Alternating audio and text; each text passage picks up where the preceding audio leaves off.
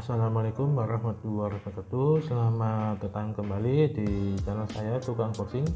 Gimana kabarnya teman-teman? Semoga sehat selalu dan rezekinya lancar. Di video kali ini saya mau unboxing paket ya.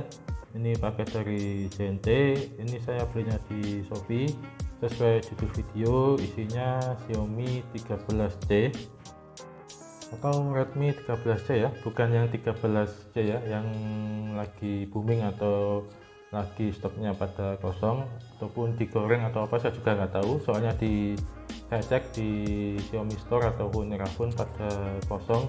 Kalaupun ada biasanya itu harganya digoreng. Bahkan ada yang jual sampai 69 atau 7 juta. Soalnya untuk harga resminya itu 6 juta 500 ya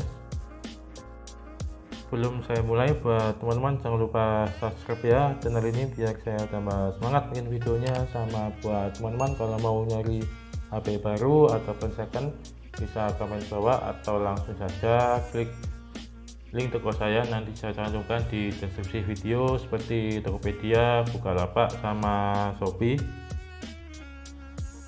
Oh ya seperti biasa ya untuk bagian video unboxing paketnya ini nanti saya percepat ya biar videonya enggak terlalu panjang.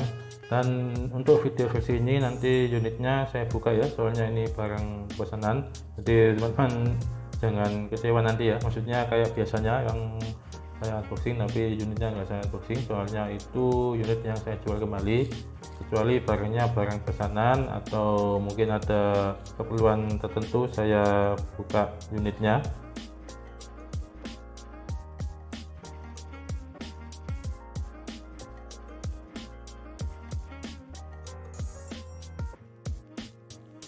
Nah seperti ini ya untuk penampakannya Redmi 13C ya.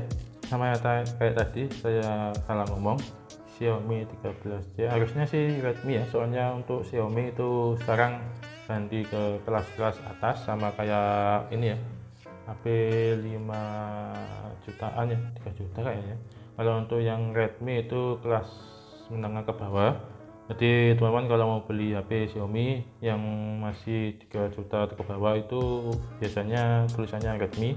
Kalau untuk yang kelas-kelas kelas atas atau versi Pro nya atau versi yang mahal itu tulisannya Xiaomi kayak Xiaomi 13C, Xiaomi 12C yang kayak Xiaomi 12, 12 Pro. Kalau untuk yang kelas-kelas yang 13 yang 3 juta kayak Redmi Note Redmi 13 atau Redmi 12C ataupun sejenisnya ya. Untuk Redmi 13C ini keluaran baru ini ya baru sebentar mungkin beberapa bulan 3 atau 2 bulanan. Dan HP sekarang itu di bawah 2 juta udah dapat yang memori besar ya. Dulu itu paling mentok ya 32 yang nampak mungkin masih 2 juta ke atas. Tapi untuk yang sekarang ini ya balap-balapan ataupun berlomba-lomba HP murah memori memori besar dan baterai besar. Ini untuk Redmi 13C ya saya ambil yang memori yang 256 RAM 8 ada dua varian ya. Variannya RAM 6 memori 18 sama RAM 8 memori 256 ya sisinya lumayan ya 300.000 untuk harga resminya untuk RAM 6 18 itu 1,5 dan untuk yang RAM 8 256 itu harganya 18 atau 1799 tapi biasanya yang beda toko official itu biasanya lebih murah. Diisi 75 atau 50 ribuan tergantung toko. Biasanya tiap toko harganya berbeda-beda. Untuk yang warnanya ada tiga ya warna hijau warna hitam sama warna putih. Untuk yang saya unit pegang sekarang ini warna putih untuk cara ngecek yang buat teman-teman belum tahu cara cek HP Xiaomi yang ini benar-benar kondisi baru atau enggak tinggal ketik aja ya di Google cek dari si Xiaomi pilih yang paling atas. Nanti disuruh masukin nomor email yang nomor email satu sama kode overall atau apa nanti masukkan. Nanti langsung muncul.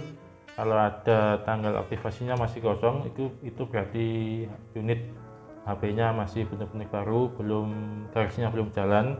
Kalau yang dicek tulisan aktivasinya muncul atau ada tulisan tanggal aktivasi kapan itu berarti kondisinya udah pernah aktif ataupun versinya udah jalan. Jadi teman-teman kalau kalau beli HP Xiaomi terutama yang baru harus hati-hati ya. Harus dicek, dicek terlebih dahulu. Oke ini saya buka ya untuk unitnya. Jadi teman-teman yang belum tahu ini barang pesanan. Kalau teman-teman pesan tipe lain ataupun yang tipe 13C Redmi ini bisa kami di bawah. Tapi untuk yang teman-teman nanti saya kondisi segel kalau saya buka seperti ini. Soalnya ini yang barang pesanan kebetulan yang pesan itu masih keluarga saya. Jadi saya buka buat tes unit jadi kalau unitnya ada yang cacat ataupun rusak nanti bisa dikembalikan langsung kalau teman-teman nanti kalau barangnya enggak jangan, sampai rusak jangan sampai rusak ya. Kalau beli di saya kondisi segel belum kebuka ada barang cacat nanti saya bantu nanti bisa saya tukar unit. Seperti ini ya untuk penampakannya Redmi 13C untuk speknya ini ya saya lihat di kamera depannya 8 MP kamera utamanya belakang ada dua 50 megapixel sama makro 2 MP untuk baterainya lumayan 5000 mAh kayak HP-HP sekelasnya. Layarnya 6,7 LCD sama refresh rate 90 pakai prosesor MediaTek Helio. Ini warna putihnya agak oke okay ya ada kayak bintik-bintik sama kayak Redmi maksud saya kayak Poco F5 yang warna putih itu ada motif seperti ini. Kalau untuk yang versi warna lain kayak biru sama warna hitam itu enggak ada motif seperti ini ya. Mungkin kayak Redmi 13C ini juga ya. Yang warna lain seperti warna hitam sama warna hijau itu enggak ada motif seperti ini. Khusus warna putihnya saja. Ini juga udah tipe C dan dapat charger 18 watt ya di webnya untuk ini tipe shot ada kalau nggak salah sih di internet saya kemarin saya lihat itu tipe shot jadi bisa pakai dua kartu bersamaan sama memory slot atau micro SD ini saya lepas dulu atau saya cek ini ya perlengkapannya. Kalau untuk Redmi 13C kemarin saya lihat di video unboxing channel lain itu nggak dapat casing ya. Jadi casingnya harus beli sendiri dan tablet juga. Ini belum terpasang anti gores ataupun tablet gelas ini habis ini unitnya saya nyalakan dan sambil nunggu bisa dicek untuk pendapatannya dapat apa saja. Ini saya buka dulu ya. Dapat tusukan SIM sama buku garansi nah sama seperti saya lihat video unboxing di channel lain ya. Ini nggak dapat cash atau biasanya dapat casing bening ya untuk HP Xiaomi atau Redmi. Tapi kali ini yang 13C Redmi 13C nggak dapat ya. Dapat juga dapat buku ucapan terima kasih udah beli produk Xiaomi sama dapat buku garansi untuk Xiaomi tahu saya nggak pakai nota pembelian ya. Biasanya pakai sistem email jadi teman-teman bisa bawa HP-nya saja atau kalau bisa sih sekalian bawa dusnya ya pernah klaim garansi waktu itu masih pegang Redmi Note 5 ya. Waktu zaman 2017 atau 2018 udah mau pakai setahunan ya. Hampir mau garansi mau habis unitnya layarnya ada satu tipis soalnya pakai IPS ya Redmi Note 5 dan diganti layarnya satu set sama baterai. Jadi garansi nggak pakai ini ya nggak pakai biaya soalnya mungkin masih gratis unitnya ini juga saya dapat charger ya bisa kalian lihat. Tadi teman-teman lihat ya udah tipe C dan saya lihat di webnya itu dapat adapter 18 watt. Jadi untuk pendapat saya HP Redmi 13C dengan harga 1,8 ya untuk harga resminya saya patokan harga resmi saja. Dapat RAM 8 memori besar 256 sudah lebih dari cukup ya apalagi buat game-game ringan atau nyimpan data banyak juga bisa tapi untuk game-game berat kayak PUBG ataupun Genshin, Genshin Impact kayaknya masih bisa tapi mungkin patah-patah. Soalnya sekelas harga di bawah 2 juta kayak dibandingkan HP kelas-kelas atas ada harga ada rupa. Jadi teman-teman kalau mau beli HP sesuai budget saja dan sesuai kebutuhan kalau contoh saja di bawah 2 juta sering pakai HP Xiaomi ataupun apa ambil 13C sudah lebih dari cukup. Atau yang ngambil yang kelas-kelas 2 juta atau yang 3 jutaan itu ambil yang versi Note. Mungkin yang terbaru versi Note 13 ya. Kalau versi Note 14 kayaknya belum masuk ya belum masuk resmi.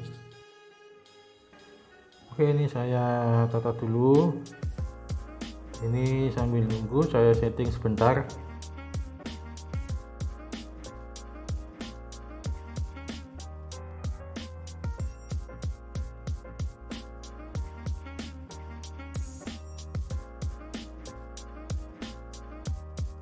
Oke ini dia untuk penampakannya. Penampakan pertama Redmi 13C sama kayak HP Redmi sebelumnya atau pada umumnya.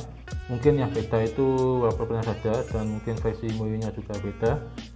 Untuk versi saya ya untuk software atau tampilan HP yang paling saya sukai pandangan saya sendiri itu Samsung ya lebih simpel dan enggak terlalu ribet. Kalau untuk Xiaomi itu mungkin minusnya yang saya enggak terlalu suka itu ada iklannya.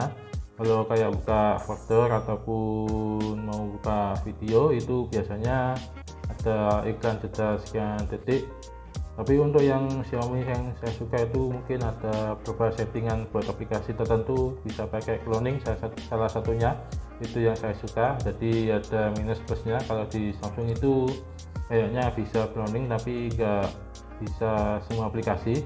Kalau untuk Xiaomi itu kayaknya bisa semua aplikasi ya untuk cloning atau double aplikasi. Oke ya teman saya rasa cukup untuk video kali ini. Ini juga videonya udah terlalu panjang dan juga saya juga banyak terlalu banyak ngomong mohon maaf ya teman-teman jika banyak kekurangannya dan juga ada salah kata. Sampai jumpa di video selanjutnya. Terima kasih. Assalamualaikum warahmatullahi wabarakatuh. Ojo lali subscribe ya rek